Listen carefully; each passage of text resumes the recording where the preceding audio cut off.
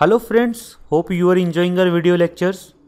So let's discuss a topic why west flowing rivers in India don't form delta. So let's clarify today.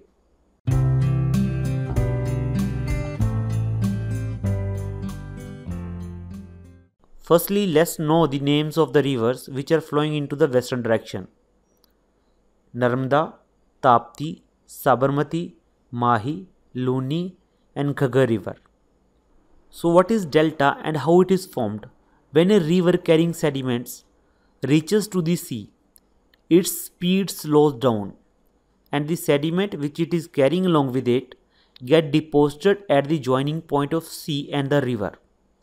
And this layer by layer formation converts into delta. So now you know how delta is formed.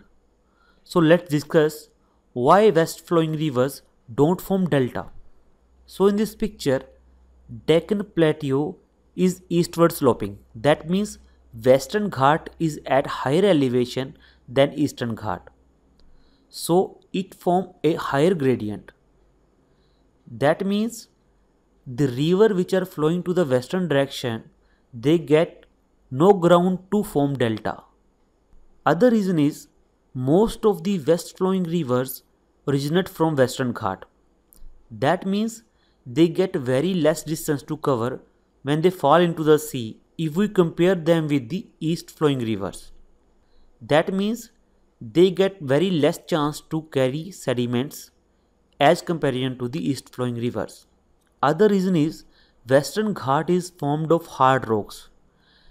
So hard rocks don't allow the rivers to widen their mouth that is very much criteria to form delta. See in the previous picture, this river is forming delta and widening its mouth. That means river should widen its mouth at the joining point of sea and river to form delta. But due to the hard rocks, they don't allow the rivers to widen its mouth. So that is the main reason west flowing rivers don't form delta. So let's revise it quickly why west flowing rivers don't form delta. First reason, western Ghat is at higher elevation than the eastern Ghat. Due to higher gradient, higher slope, so river falling from the higher elevation has higher velocity, they have carry sediments and wash it away with them because of the higher speed of the water.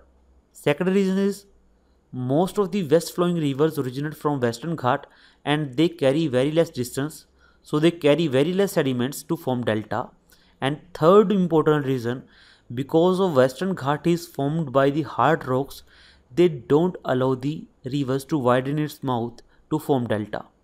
So hope I have clarified why west flowing rivers don't form delta in India.